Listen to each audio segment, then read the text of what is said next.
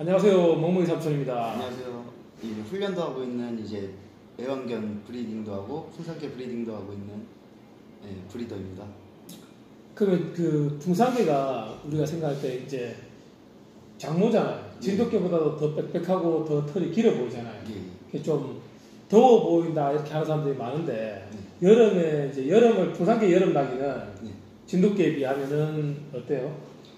뭐 진돗개랑 뭐 비해서는 거의 비슷한 것 같습니다. 음. 제 생각에는 그리고 이 여름철 털갈이 시즌 때는 이렇게 빗질을 해주면서 도와주고 이제 페트병 얼음물을 얼려가지고 도움을 준다거나 예, 뭐 개인 분들은 뭐 주기적으로 목욕도 시켜주실 거고 그러니까 뭐 여름 나는 거에 대해서는 그래도 잘 버티는 편이고 음.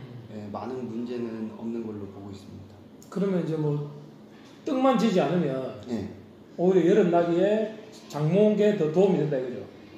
그렇죠. 뭐 이제 떡지지만 않으면 뭐이 털이 길어도 속털을 뽑아줌으로써 네. 이제 그 개가 그 여름에 맞게 자기가 이제 적응하게끔 몸을 만드는 거니까요. 가정에서 우리가 속털을 제거를 안 해주면 털갈이 시킬 때 엉켜버리면 열을 받은 게 속열이 못 빠져나가서 체열하고 같이 이렇게 덮잖아요. 예. 쪄- 쪄버린다 그러죠. 그 찐다 그러죠, 속이.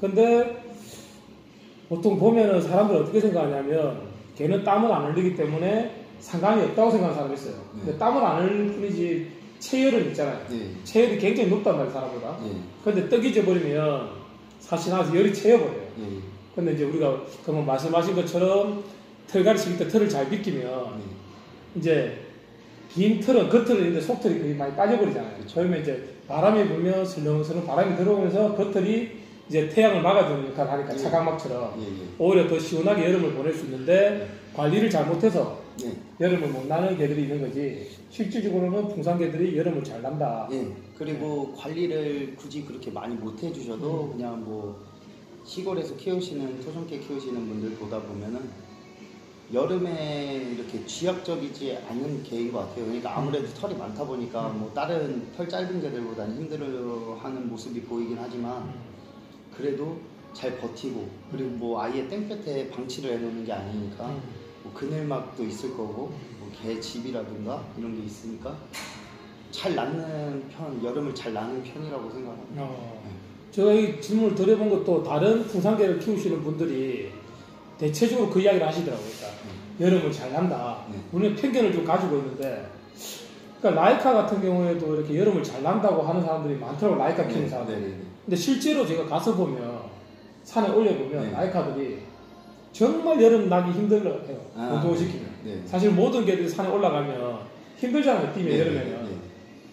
근데 그에 비해서 오히려 풍산개는 조금 더 여름을 잘 견딘다는 느낌이 들었어요. 라이카보다. 네, 네. 뭐 지, 지형적으로도 아무래도 풍산 지역도 춥지만 내시안 더 추워서 네. 좀 그런 것도 있을 수 있겠지만 겉으로 볼 때는 더 빽빽하단 말이에요. 이게 네, 네. 풍산개가. 그런데도 여름을 좀 더 잘 난다는 이야기를 많이 들어서 네. 제가 이렇게 질문을 한번 해봤습니다. 아, 그리고 여기까지 또 한번 끊고 우리 가는 게 여기까지 하고 또 끊고 또 다른 질문 이어가겠습니다. 네. 안녕.